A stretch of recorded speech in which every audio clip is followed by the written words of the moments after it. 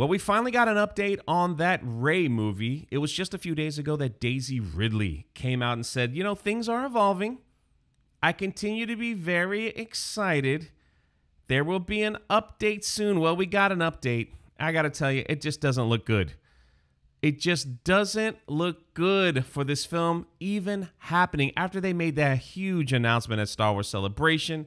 They brought Daisy Ridley out there and they talked to her and all that stuff. I feel like this isn't going to happen. We'll explain why. But before we get into it, could you do me a huge favor and hit that subscribe button? It's a free thing that you could do to help out the channel. And would you mind checking out my graphic novel, Achromatic Chronicles Green? This is book two in the series. Some of you be like, man, I didn't even know you had a book one. Well, you could also get that as well. The first one did amazing, got great reviews. It's an all age adventure, so it doesn't have any of that mess in there. You're gonna love it. It's in the pin comment. It's also in the top of the description. It's only going to be available for a limited time. So check it out. Trust me, you're going to be very happy with it if you order it. All right, now let's get into it.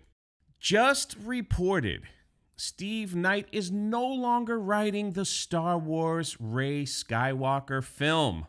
The film will likely be delayed. Speculated December 2026. They already got a Star Wars movie coming out in 2026. It's the Mando and Grogu, which actually wrapped up its filming. So we know for sure that Mando is coming out. They just finished it, and uh, it's not scheduled to be released till 2020. They, are going to do two Star Wars films in the same year. Uh, I don't think that's going to happen. This thing is going to get pushed back. There's no rider now. There's no uh, direction. There is nothing out there to to get them to start filming. I don't get it. I don't get it. it it's going to get pushed back further. What are they just going to come together for two weeks and film a quick film and then drop it? I don't think so. I I, I mean they might. They absolutely might, but but here is some of the reasoning as to why many people think that this film will never see the light of day.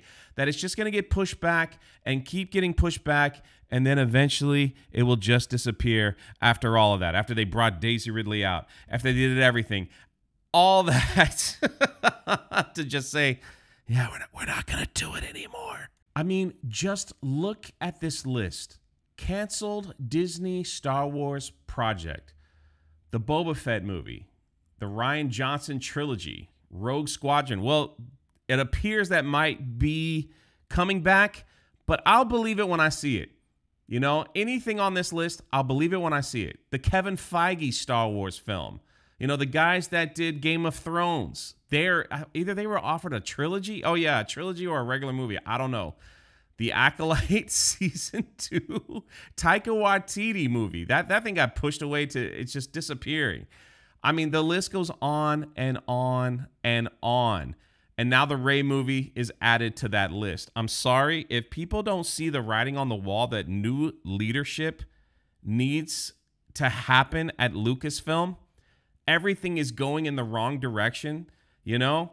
This woman that sits on that throne thinks she has everything under control and everything's going to be fine. And they pass the blame on everything. It's the toxic fans. It's the white males. We're trying to get diversity going. We're trying to do this. We're trying to do that. We're trying. We're trying. And yet nobody's watching. Nobody's buying and nobody cares. Now you're you're, you're investing in a film with Rey Skywalker that no one cares and that should they should have told you about that when they when they did that Star Wars hotel, my goodness, that nobody showed up to, you had to cancel after a year because but you thought, you know, he she's such a popular character. Do these people not look at numbers? Do they not look at charts? Is their ego that big that uh, they don't understand how business works? That they think everything's fine, no problem over here. I mean, look at that list. The majority of these things were announced at Star Wars Celebration and somebody was brought out or they had a graphic made or whatever it was. You know what I'm saying? And yet uh, now it's not happening. Now the Rey film, I'm going on record and saying I don't think it's going to happen. I just don't think it's going to happen. The Mando and Grogu film will be a t- if they put that out and it just eh, you know, three years too late for that film. Four years too late for that film. or whatever, you know what I mean? Then uh, uh, it, it'll just time will tell. You know, time will tell. Hey, and hey, if I'm wrong, I'm wrong, and I'll be the first to admit it. They they got this thing done. But what do you guys think after hearing everything? Do you think this movie's to get made? Or do you, or do you think they're just to add it to the list of Star Wars failures? This is Jay, and we'll catch you next time.